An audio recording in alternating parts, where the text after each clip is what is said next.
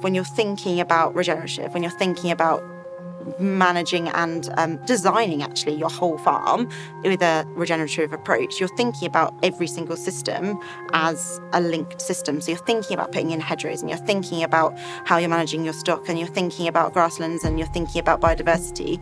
And so when you have a regenerative outlook, you're you're not thinking about things in isolation. You're thinking about things as, as a whole holistic concept.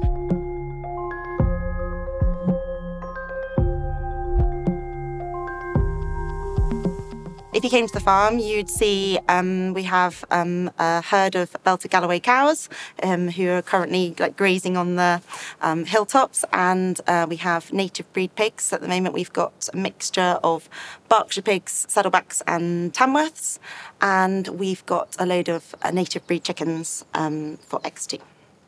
Our outlook when we first took on the farm um, was to farm totally alongside nature. So our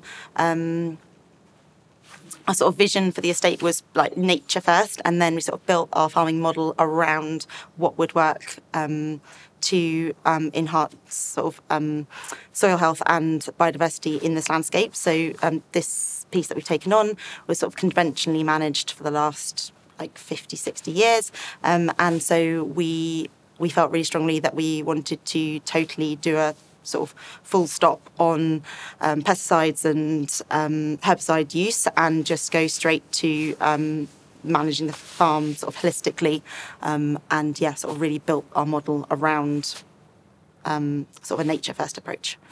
We've been practicing with mob grazing. We haven't got it totally perfect yet. Um, there's lots of limitations that we found to mob grazing when we're first starting out. So um, so mob grazing is um, where you um, bring your cattle into a tight mob together and you keep them together using electric fencing and mobile in- infrastructure, and then um, you move them on like regularly. So a lot of people call it uh, like adaptive plan grazing. So you can be a little bit flexible with it. So it's not like you move them every single day or every three days. You sort of go with the seasons and how quickly the grass is growing or not growing, and um, and it's a fantastic system. We've had really good results with it, but we're sort of really limited at the moment by um, infrastructure. So mob grazing takes a huge amount of infrastructure, like water infrastructure and um, like fencing, which all costs a lot of money. So we've only got a, like a finite amount at the moment. So um, that sort of limited us to how well we can do our mob grazing. Um, but the the bits that we have done and um, sort of the impact that we've seen has been really, really positive. And we're using mob grazing in, in a slightly different way in that we're using doing long grass grazing. Um, so throughout the summer months, we're trying to keep our grasses long because um, when grasses are long, roots are also long. So on grass plants, roots are as long as the tops. Um, so when your grasses are long, um, you've got all that root mass which is absorbing carb- absorbing carbon dioxide and feeding plant roots and feeding all things below the soil. And um, you're getting maximum photosynthesis. And, um, and so that's sort of one reason for um, keeping those grasses long, but also from a biodiversity perspective, there's so much habitat. Like when you go out into our fields and the grass is short, you can hardly hear a thing, and then you go out and the grass is long, and you can just hear like a sort of hubbub of activity um, in amongst the grasses.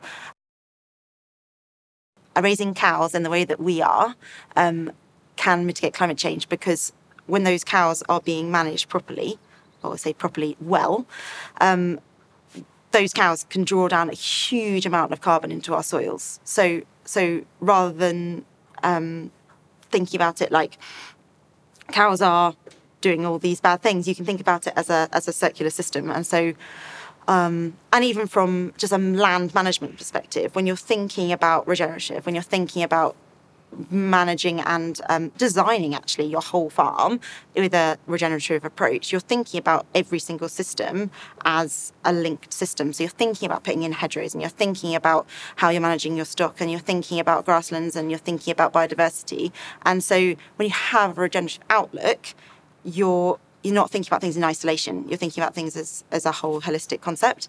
And so um, I think that I think it's really regenerative is banded around a lot at the moment, and it's a real good buzzword. Um, but we have to sort of nail down exactly what it means, and and I, and I, think it does mean farming for climate as well as farming for animal health and biodiversity and all these other things. Um, but we have to decide exactly what that looks like, especially from an arable perspective. I think it's it's um, it's getting our farming practices right to be, have the effect that we want to have from a climate perspective.